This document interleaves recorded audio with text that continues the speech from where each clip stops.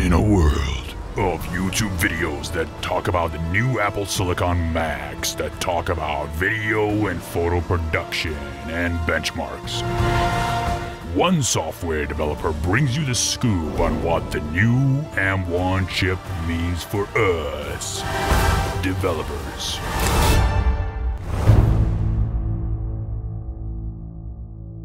It's getting cold in here. I think it's this new M1 MacBook Air. It doesn't produce enough heat, so it's really cold. I gotta wear something warm. All right, all kidding aside, finally I got my MacBook Air M1, the Apple Silicon chip. And in this series of videos, I'm gonna be testing out from a developer's standpoint, how this new M1 holds up, whether things even run on there. I'm sure you've seen all the different news about it, whether things are running or not, people are complaining. And a lot of YouTube videos focus on the video creation aspect, the photography aspect, rendering videos and things like that. Not too many videos out there on a development standpoint. So I thought, okay, let's create some. So today I'm setting up a JavaScript development environment on the new M1. What does a JavaScript development environment need? Well, my first and foremost tool that I install on pretty much any new computer is Chrome. I mean, that's kind of a given nowadays because of the development experience you get with Chrome. So I'm gonna go to Chrome, I'm gonna download Google Chrome, and you see this option here. It says, select the version of Chrome that's right for your Mac. Mac with Intel chip, Mac with Apple chip. They already detect the difference here, so I'm gonna select the Apple chip, click allow on that. We need Chrome for the developer tools, and that's a must. Here you get some installation options. They look pretty standard.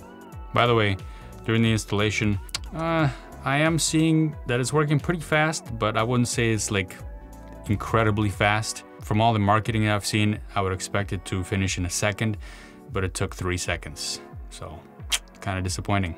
You're messing up, Apple. Google Chrome is on board. What's next? Well, I use my editor the most as far as coding stuff, and my editor right now is Visual Studio Code. I do pretty much all my editing in Visual Studio Code. I also use Visual Studio proper. Right now, we can't run Visual Studio on the new M1 chip because as of this time, December 7th, 2020, Parallels and VMware Fusion do not yet support this chip. We'll be back later to examine the speed differences when those are supported. Now I need to get VS Code. So I'm gonna open up Chrome. There it is right there. Let's go ahead and do a search for VS Code. There it is. Let's download for Mac. Now, I understand that there is an insider's build that works with the M1 chip, as of this time right now, but the main stable release doesn't yet work, but it works with Rosetta. I'm just gonna get the regular stable build because it's VS Code. I don't need it to be super fast. I'd like it to be fast, but I'm not doing any kind of performance measurement with my editor. So we're gonna skip that. The performance measuring I am gonna do is building applications, and that comes later on in another video. So I'm gonna get the regular Mac OS version here, the stable build. There's my download. It's a zip file. Let's go ahead and unzip that. And there it is. I'm gonna double click it to run it and let's see what happens. To open Visual Studio Code, you need to install Rosetta. Now, as you might have heard, Rosetta, or in this case, Rosetta 2 to be more precise, is that translation engine that works on top of M1 chips that translates between the old Intel architecture software and the new hardware. This is kind of a Apple's temporary solution to be able to run those Intel targeted build of software. So that's what it's asking me to do, and I'm gonna go ahead and do that. By the way, if you are interested in some specific comparisons with Visual Studio Code proper versus Visual Studio Code Insiders, which is built for the M1 chip, let me know down in the comments below. All right, macOS is trying to install Apple software. I need to enter my password, install the software, and let's do that. So that was nice that it was automatic. When it detected that a build was created for an Intel chip, it automatically asked me to install Rosetta. I didn't need to go and download some other software somewhere else on the Apple site or search for it. It automatically did that for me. Nice. So I don't see anything going on right now. My hope is that it actually went ahead and installed everything that I need, but that's not looking the case. So let me double click on VS Code again. and open it. What's happening here? Hey, look at that, bouncing VS Code icon. It's opening. Haha, nice. I got VS Code running. This is good. This is all good. I don't know how sluggish it'll be actually using an editor as light as VS Code, so it's kind of hard to compare. There might be some internal functions that take a while that would be a good performance test, but I don't know of any. Let me know in the comments if you know a good test to be able to test this via Rosetta compared to my VS Code installation on, let's say, my MacBook Pro from 2019. All right, these notifications have got to go. Let me go to Preferences, Notifications, turn on Do Not Disturb. VS Code is on. Now, the next biggie is Node.js. So we need to install Node.js on this environment.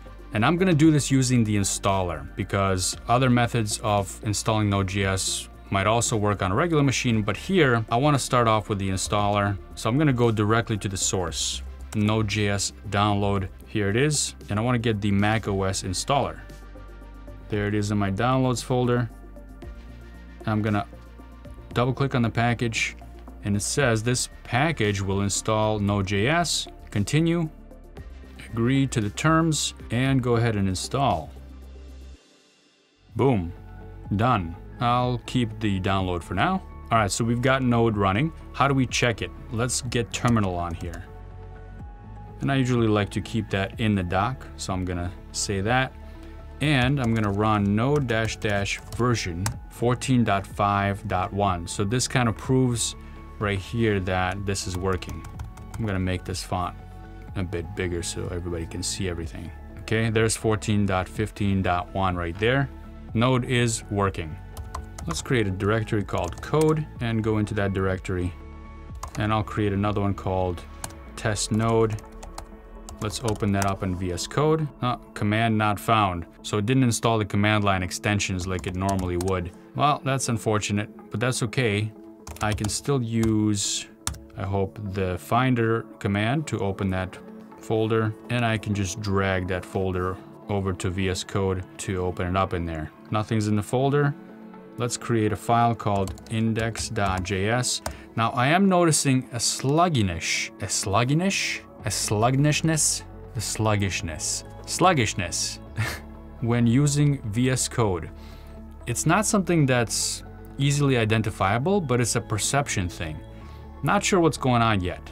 Hopefully this won't plague the system for too long. All right, so this is JavaScript. I wanna just create a function called call fun. Oh gosh, I'm so not creative with these names. How about say hello?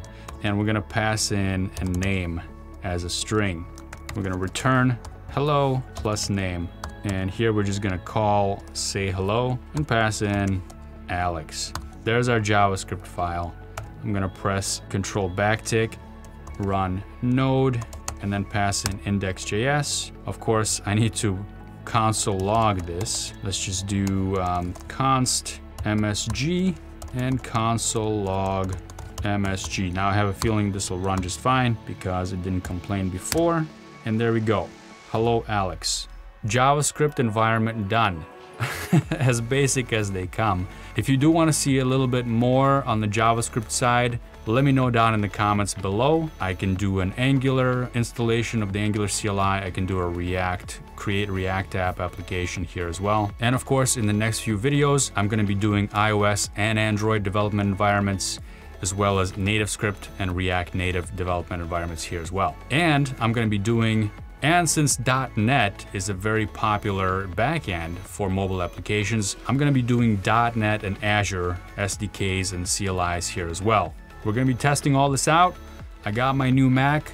I got the Mac Mini coming in the mail as well, so I can do some comparisons with speed there as well. Subscribe to the channel, you'll really help me out. And if you found this video useful or entertaining at least, I try to be entertaining, but sometimes my jokes just don't land. I know they're pretty dry. I'll try to come up with some good jokes, but they're probably gonna suck anyway. But that shouldn't prevent you from subscribing to the channel and giving me a thumbs up. Leave a comment down below if there is anything specific you wanna see. And I wanna do uh, maybe uh, some kind of a live streaming event where we can actually chat and you can ask me things about the M1 and we can even try it out live. Okay, I'll see you in the next video. Later.